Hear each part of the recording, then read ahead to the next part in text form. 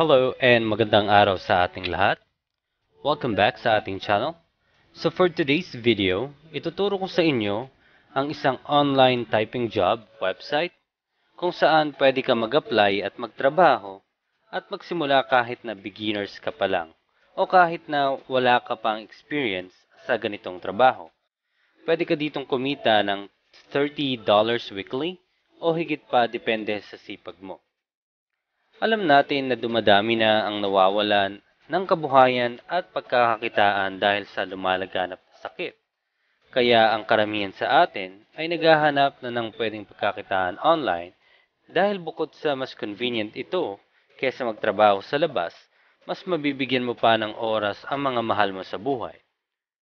Kaya kung ikaw ay isa sa mga empleyadong sawang-sawa ng malate at matraffic sa labas, ang video na to ay para sa iyo. Kaya stay tuned at huwag ka mag skip at huwag mo na rin kalimutang mag-subscribe at i-hit ang notification bell para ma-update ka sa mga susunod pa nating mga videos.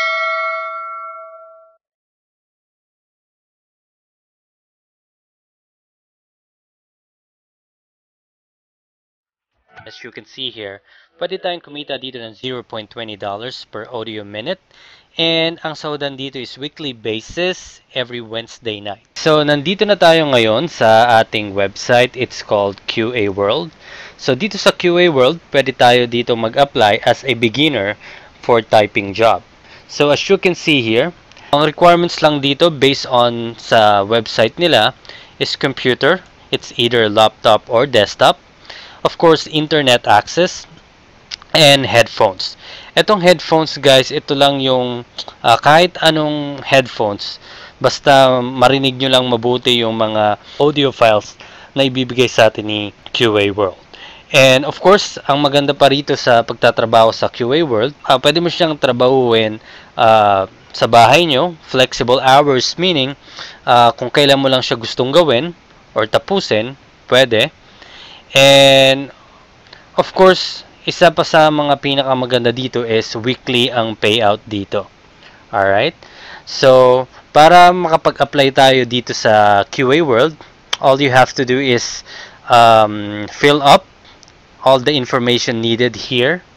Okay? And then click nyo lang yung I'm not a robot and click yung apply. So, once natin ma-fill up yung application, si QA World, magsasend siya ng confirmation email sa ating email address. Of course, dun sa pre-provide nating email kanina.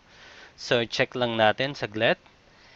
And here's the uh, QA World confirmation email.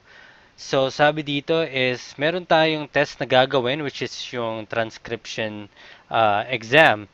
And once na mapasa natin yon is, pwede na tayo magtrabaho kay QA World. So, click lang natin yung link. So, dito sa next page, gagawa lang tayo ng account natin and maglalagay lang tayo dito ng ating unique uh, password.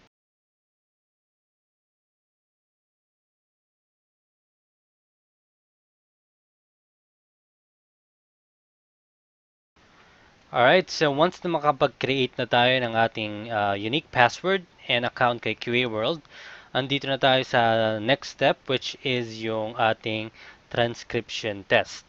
Meron ditong uh, less than or 1 minute audio na papakinggan natin at gagawin lang natin is every word na mapapakinggan natin dito sa ating audio clip isusulat lang natin siya word by word. Okay? So, kagandahan dito is, let's say for example, meron tayong specific word na hindi maintindihan or sentence na hindi maintindihan, pwede nating balik-balikan or ulit-ulitin yung uh, sentence na yon hanggang sa maintindihan natin at maisulat natin ng maayos and finally makapasa dito kay QA World.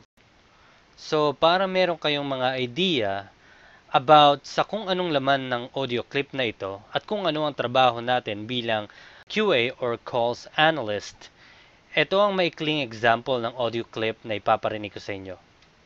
Hi, this is James calling from the Boston Consulting Group. Right now we have a promotion on our executive consulting services. Is this an okay time to talk? I'd like to discuss how we can help you streamline your team's business processes from the ground up. Basically, we specialize in accounting. And bago nga pala makalimutan guys, napaka-importante dito na nasa proper places yung ating commas, yung dot or yung ating period, and yung question marks. Alright? So gawin lang natin to saglit. So once may pasa natin yung ating audio test, uh, in the next page, yung welcome note ni QA World, and as you can see here, pwede tayong kumita dito ng $0.20 per audio minute. And ang sahod dito is weekly basis every Wednesday night via PayPal. So, ganun lang siya kadaling pumasa dito sa QA World, guys. Uh, again, yung transcription test na yon, pwede siyang ulit-ulitin kung meron kayong mga specific word na hindi naintindihan dun sa audio clip, pwede niyo siyang balik-balikan hanggang sa maintindihan nyo at maipasa yung test. Alright? And again, ang kagandahan pa dito sa ating uh, QA world, hindi nyo na kailangan dito ng iba't ibang mga requirements, okay? All you have to have is laptop or desktop and of course, internet connection and yung headset. And then again, yung headset natin, kahit normal lang siya na headset or earphone, as long as meron siyang magandang audio quality, yung mapapakinggan nyo ng mabuti yung audio clip na ibibigay sa atin ni QA World. Alright? And by the way, before I forget, yung mga next steps dito sa ating um, QA World application, hindi ko na pwedeng ipakita sa inyo dahil labag na yon sa privacy policy ni QA World. Okay? But then again, uh, wala na kayong dapat problemahin once na makapasa na kayo dun sa ating transcription test. The rest na step is only confirmation lang and about setting up ng mga tools and equipments para sa mga gagamitin natin uh, kay QA World once na mag-start na tayo magtrabaho. So, kung nagustuhan nyo guys itong video natin ngayon at kung nakaabot kayo dito sa ating uh, video, huwag nyo naman kalimutang mag-leave ng thumbs up and comment And of course, kung hindi pa kayo naka-subscribe sa ating YouTube channel, i-hit nyo na yung subscribe button and ang notification bell para ma-notify kayo sa mga susunod pa nating upload.